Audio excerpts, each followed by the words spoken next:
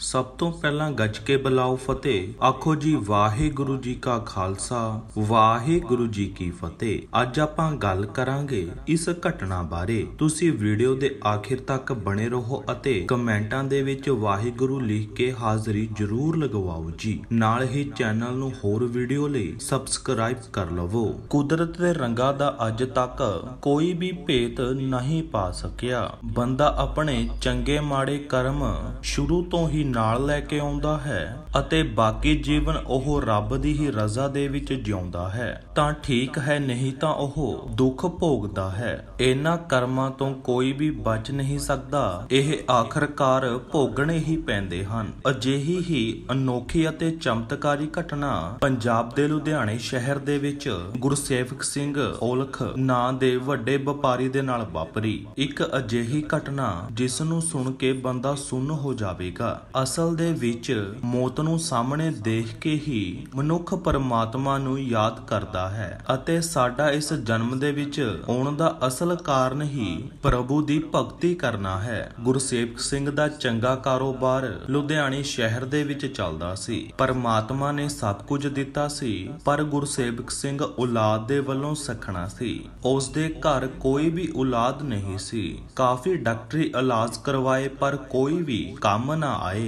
ਕਾਫੀ ਸਮੇਂ ਬਾਅਦ ਇਹਨਾਂ ਦਾ ਮਿਲਾਪ ਇੱਕ ਸਾਧੂ ਸੰਤ ਦੇ ਨਾਲ ਹੋਇਆ। ਉਸ ਸਾਧੂ ਨੇ ਪਰਿਵਾਰ ਨੂੰ ਹਰ ਰੋਜ਼ ਪਾਠ ਸੁਖਮਣੀ ਸਾਹਿਬ ਜੀ ਦਾ ਅਤੇ ਰੋਜ਼ ਗੁਰਦੁਆਰੇ ਸਾਹਿਬ ਦੇ ਵਿੱਚ ਹਾਜ਼ਰੀ ਲਗਵਾਉਣ ਦੀ ਸੇਵਾ ਲਗਵਾਈ। ਪੂਰੇ 2 ਸਾਲਾਂ ਬਾਅਦ ਪਰਮਾਤਮਾ ਦੀ ਕਿਰਪਾ ਹੋਈ। ਗੁਰਸੇਵਕ ਸਿੰਘ ਦੇ ਘਰ ਇੱਕ ਪੁੱਤਰ ਨੇ ਜਨਮ ਲਿਆ। ਬਹੁਤ ਸਾਰੀ ਖੁਸ਼ੀਆਂ ਅਤੇ ਬਣਦੇ ਸ਼ਗਨ ਪਰਿਵਾਰ ਦੁਆਰਾ ਮਨਾਏ ਗਏ। ਜਿਵੇਂ ਜਿਵੇਂ ਲੜਕਾ ਵੱਡਾ ਹੁੰਦਾ ਗਿਆ। ਪਰਿਵਾਰ ਦੇ ਵਿੱਚ ਖੁਸ਼ੀ ਅਤੇ ਕਾਰੋਬਾਰ ਵਧਦਾ ਗਿਆ। ਪਰ ਜਦੋਂ ਲੜਕਾ 10 ਸਾਲਾਂ ਦਾ ਹੋਇਆ, ਤਾਂ ਉਸ ਨੂੰ ਇੱਕ ਭਿਆਨਕ ਬਿਮਾਰੀ ਲੱਗ ਗਈ, ਜਿਸ ਦਾ ਇਲਾਜ ਕਰਵਾਉਣਾ ਸੰਭਵ ਸੀ, ਪਰ ਸਮਾਂ ਲੰਘ ਚੁੱਕਿਆ ਸੀ। ਇਸ ਦੁੱਖ ਨੂੰ ਗੁਰਸੇਵਕ ਸਿੰਘ ਦੀ ਪਤਨੀ ਸਹਿ ਨਾ ਸਕੀ ਅਤੇ ਪਰਿਵਾਰ ਨੂੰ ਸਦਾ ਦੇ ਲਈ ਵਿਛੋੜਾ ਦੇ ਗਈ। ਗੁਰਸੇਵਕ ਸਿੰਘ ਇੱਕ ਪਾਸੇ ਤਾਂ ਪੁੱਤਰ ਦੀ ਬਿਮਾਰੀ ਤੋਂ ਦੁਖੀ ਸੀ ਅਤੇ ਦੂਜੇ ਪਾਸੇ ਉਸ ਨੂੰ ਪਤਨੀ ਦੇ ਜਾਣ ਦਾ ਗਮ ਵੀ ਸਤਾਉਣ ਲੱਗਿਆ, ਕਿਉਂਕਿ ਐਨੇ ਸਾਲਾਂ ਬਾਅਦ ਪੁੱਤ ਦੀ ਪ੍ਰਾਪਤੀ ਹੋਈ ਅਤੇ ਉਤੋਂ ਜੀਵਨ ਸਾਥੀ ਵਿਛੜ ਜਾਣਾ ਬਹੁਤ ਹੀ ਦੁਖਦਾਇਕ ਸਥਿਤੀ ਸੀ।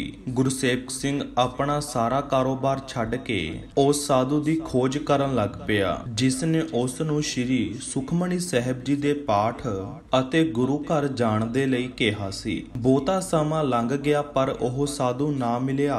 ਆਖਿਰਕਾਰ ਪਰਮਜੀਤ ਸਿੰਘ ਨੇ ਥੱਕ ਹਾਰ ਕੇ ਆਪਣੇ ਪੁੱਤਰ ਨਾਲ ਗੁਰਦੁਆਰੇ ਸਾਹਿਬ ਜਾਣਾ ਸ਼ੁਰੂ ਕਰ ਦਿੱਤਾ। ਅਤੇ ਕਈ ਕਈ ਘੰਟੇ ਉਸ ਨੂੰ ਲੈ ਕੇ ਉੱਥੇ ਬੈਠਾ ਰਹਿੰਦਾ, ਕੀਰਤਨ ਸੁਣਦਾ ਅਤੇ ਸੇਵਾ ਕਰਦਾ। ਬਹੁਤ ਸਮਾਂ ਬੀਤ ਗਿਆ, ਪਰ ਲੜਕੇ ਦੇ ਸਿਹਤ ਦੇ ਵਿੱਚ ਕੋਈ ਵੀ ਸੁਧਾਰ ਨਾ ਹੋਇਆ। ਇਸ ਦੇ ਚੱਲਦਿਆਂ ਹੀ ਗੁਰਮੁਖ ਸਿੰਘ ਨੇ ਗੁਰਦੁਆਰੇ ਸਾਹਿਬ ਦੇ ਵਿੱਚ ਬੈਠੇ ਹੋਏ ਬਹੁਤ ਹੀ ਦੁਖੀ ਹਿਰਦੇ ਦੇ ਨਾਲ ਪਰਮਾਤਮਾ ਅੱਗੇ ਅਰਦਾਸ ਬੇਨਤੀ ਕੀਤੀ ਕਿ ਜੇਕਰ ਮੇਰਾ ਪੁੱਤ ਠੀਕ ਨਾ ਹੋਇਆ, ਤਾਂ ਮੇਰਾ ਭਰੋਸਾ ਤੁਹਾਡੇ ਉੱਤੋਂ ਉੱਠ ਜਾਵੇਗਾ ਅਤੇ ਮੈਂ ਆਪਣੇ ਜੀਵਨ ਨੂੰ ਖਤਮ ਕਰ ਦੇਵਾਂਗਾ। ਆਖਿਰਕਾਰ ਪਰਮਾਤਮਾ ਨੇ ਉਸ ਦੀ ਸੁਣੀ ਅਤੇ ਉਸ ਦੇ ਪੁੱਤਰ ਦੀ ਸਿਹਤ ਦੇ ਵਿੱਚ ਸੁਧਾਰ ਹੋਣਾ ਸ਼ੁਰੂ ਹੋ ਗਿਆ ਅਤੇ ਇੱਕ ਦਿਨ ਉਸ ਦਾ ਪੁੱਤਰ ਪੂਰਨ ਤੌਰ ਤੇ ਠੀਕ ਹੋ ਗਿਆ ਅਤੇ ਰੋਗ ਮੁਕਤ ਹੋ ਗਿਆ। ਕਿਹਾ ਜਾਂਦਾ ਹੈ ਕਿ ਜਿਹੜੇ ਵੱਡੇ ਵੱਡੇ ਰੋਗ ਡਾਕਟਰਾਂ ਤੋਂ ਨਹੀਂ ਸੁਲਝਦੇ, ਉਹ ਗੁਰੂ ਰਾਮਦਾਸ ਮਹਾਰਾਜ ਜੀ ਦੇ ਦਰ ਤੇ ਅਤੇ ਗੁਰਬਾਣੀ ਸੁਣਨ ਦੇ ਨਾਲ ਠੀਕ ਹੋ ਜਾਂਦੇ ਹਨ।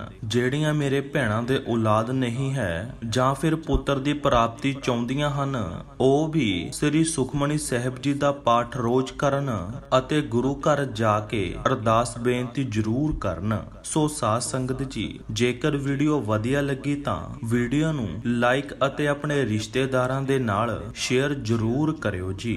ਇਦਾਂ ਦੇ ਹੀ ਵੀਡੀਓਜ਼ ਦੇਖਣ ਦੇ ਲਈ ਚੈਨਲ ਨੂੰ ਸਬਸਕ੍ਰਾਈਬ ਕਰ ਲਵੋ ਅਤੇ ਬੈਲ ਆਈਕਨ ਨੂੰ ਦਬਾ ਲੈਣਾ, ਜਿਸ ਨਾਲ ਸਾਡੀ ਹਰ ਨਵੀਂ ਵੀਡੀਓ ਸਭ ਤੋਂ ਪਹਿਲਾਂ ਤੁਹਾਡੇ ਤੱਕ ਪਹੁੰਚ ਜਾਵੇਗੀ। ਮਿਲਦੇ ਹਾਂ ਅਗਲੀ ਵੀਡੀਓ ਵਿੱਚ। ਉਦੋਂ ਤੱਕ ਦੇ ਲਈ ਬੁਲਾਓ ਫਤਿਹ। ਆਖੋ ਜੀ, ਵਾਹਿਗੁਰੂ ਜੀ ਕਾ ਖਾਲਸਾ, ਵਾਹਿਗੁਰੂ ਜੀ ਕੀ ਫਤਿਹ।